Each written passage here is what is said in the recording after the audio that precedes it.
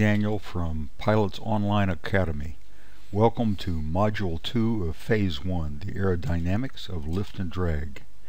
The four fundamental aerodynamic forces are thrust, drag, lift, and weight. Here's what to expect. You will learn what causes the most subtle and important of the four basic forces that operate on an airplane, lift and drag. You need this to understand all maneuvers including stalls. The other two basic forces, thrust and weight, will be covered in flight dynamics. Let's see what happens when wind blows past any object. A wing seems like a practical object to start with. First we look at the wind blowing over the wing. Keep in mind that atmospheric pressure keeps air against the wing. Since the air is forced against the wing and the wind is blowing past it, a parcel of air that strikes the front of the wing should follow the shape of the wing all the way to the back. That's exactly what happens most of the time. This parcel of air interacts with the wing two ways. The most obvious is to pull back on the wing as it rubs against it. We call this kind of drag skin friction. But another thing happens that's not quite so obvious. To follow the surface of the wing, the parcel must follow a curved path. Anything, including air, that follows a curved path experiences centrifugal force in the opposite direction of the curve. And centrifugal force creates lift. As the air passes over the wing, centrifugal force tries to pull it away from the surface. As long as the atmospheric pressure is greater than the centrifugal force, the wind stays against the wing and the air pressure drops. It sucks the wing up. If the wing is symmetric and the wind blows straight on, the wind blowing across the bottom exactly offsets the wind blowing across the top and the wing has no net lift, just drag. Now, suppose the wind attacks the wing at a different angle. Let's pitch the wing up 10 degrees. The wind passing over the top of the wing follows a more curved path than below it. The net lift of the wing is now up. But the wing is presenting more area to the oncoming wind, causing the air to build up pressure on the bottom. Eventually, we have only high pressure pushing up and back. In contrast, on the top there is only low pressure pulling up and back. We still have the drag caused by the wind rubbing against the surfaces. When you look at the lift at various points of the wing, you see that it is often pulling back on the wing.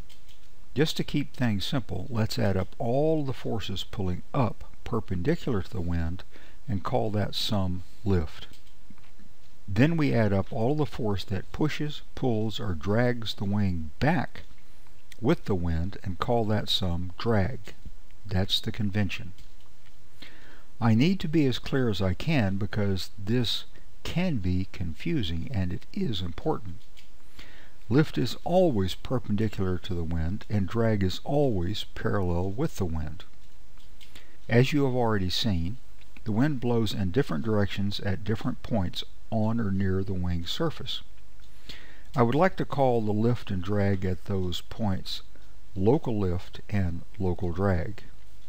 When we view the wing on a macro level, long before it has disturbed the air, we can discuss the wing's total lift and total drag in a meaningful way. Here's why the difference is important. At almost every point on a wing surface, local lift either adds or takes away from the wing's total drag. So you can't just add up all the local lift and say that's the total lift. Let's look at what happens as the wind attacks the wing at a steeper angle. The pressure on the top gets lower, the pressure on the bottom gets higher, and the forces pushing, pulling, and dragging on the wing increase. Conclusion. As lift increases, drag increases. Caution. Lift does not always increase as drag increases. As we pitch up the wing more, lift gets stronger as long as the atmospheric pressure overwhelms the centrifugal force. Unfortunately, as the wing pitches up, the direction of local lift rotates with it, pointing more and more toward the rear. If we were to accumulate all of the local lift into one big force vector, it would always point back to some degree, never forward. The greater the angle of attack, the greater the force and the farther back it points. If you notice that the consolidation of all local lift into one big force is not the wing's total lift, good for you. It points in the wrong direction. We need to separate this force into its two components, aerodynamic lift and drag. The blue force is perpendicular to the undisturbed wind, so it must be lift. The red force is parallel to the undisturbed wind, so it must be drag. No matter the shape of wing or its angle of attack, there will always be some aerodynamic drag. Another way of looking at this is that the same physical effect that produces lift can also produce drag. We now know that skin friction creates drag, that the same effect that produces lift also produces drag, and that the greater the lift, the greater the drag. Now let's see what happens to lift and drag if we try to get too much lift out of a wing. Most of the time, the greater the angle of attack, the greater the lift and the greater the drag, but there is a limit. That limit is when the layer of air next to the wing, the boundary layer, is subjected to such a strong centrifugal force that atmospheric pressure can no longer hold it against the wing. This is a wing section in a tunnel at Cambridge University in England. Off camera to the left, the white smoke trails enter the tunnel evenly spaced vertically. The wind blows horizontally from left to right. The blue arrow points to the smoke trail that passes nearest to and above the wing section.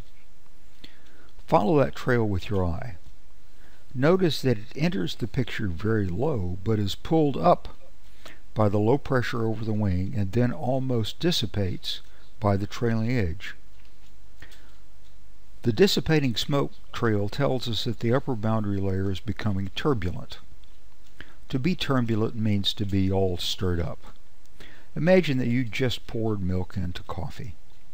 You can see a clear boundary between the milk and the coffee. As you stir the coffee, you notice two phenomena. The boundary vanishes as the coffee turns beige. You also notice that you need energy to make the coffee turbulent. The fact that the coffee settles down doesn't matter. You need energy to create the turbulence.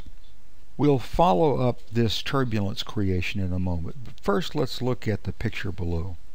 The wing is not lifted much because the upper boundary layer is no longer following a well-defined curved path over the top. It has most definitely separated.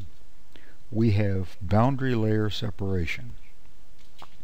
This is the infamous wing stall.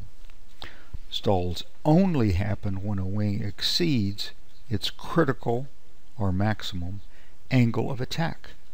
The blank space downwind of the wing is not a vacuum, it is just stagnant air moving along with the wing.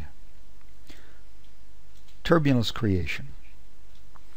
There is only one source of energy for an airplane to create turbulence its motion through the atmosphere. This means that the more the airplane stirs up the air, the more energy it takes from its airspeed and puts into the atmosphere. This means that anything that you do to create turbulence creates drag. Not only does a wing stall create massive drag, deploying flaps, landing gear, spoilers, ailerons, etc., increases drag. We now know three causes of drag. Skin friction, local lift, and turbulence. Now, two more definitions. Parasitic drag. That's the drag that is always present no matter what the pilot does. For example, skin friction, drag caused by the shape of the airplane, so forth. Induced drag is the drag caused by the pilot's action. For example, extending flaps or landing gear, putting the airplane into a tight turn, and so forth. You have learned the causes of lift, causes of drag, and the cause of stall. That the sum of all the aerodynamic forces on any object can never pull the object into the oncoming wind. In the next video you will learn how a propeller produces thrust that the weight of an airplane is not always caused by gravity, why most propeller airplanes want to turn left during takeoff and climb. Thank you very much and talk again soon.